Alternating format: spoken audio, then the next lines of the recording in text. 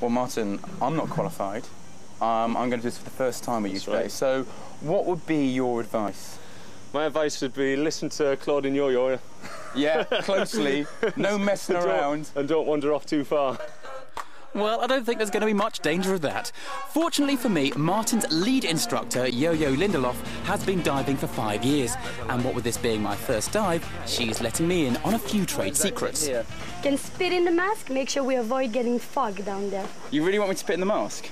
Do you need help? Yeah. Yeah, really nice. Uh, if you're gonna float, we need to take you down, then chicken wings. Good Okay. job.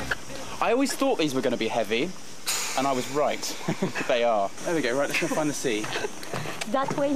Right, right, let me confide in you here. I'm feeling a little bit nervous about all of this, but Yo-Yo is at my side with some calming Reading words. through gas cylinders. It's less dangerous than bowling, though.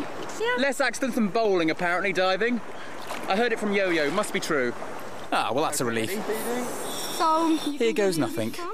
Just put your head in the water. It's gonna make bubble like in a jacuzzi. God!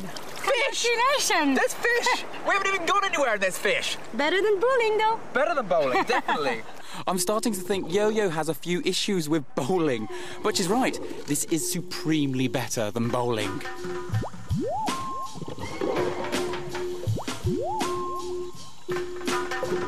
So far, so good.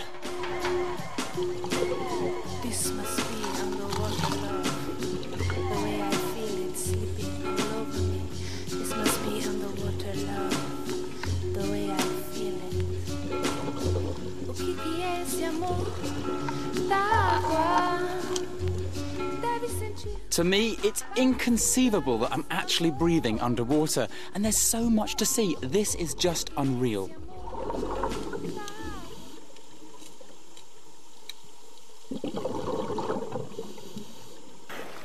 Yeehaw! That is amazing. The sights are amazing. And it's like, if ever you think life is boring and dull and there's nothing yet to experience, you have to experience this.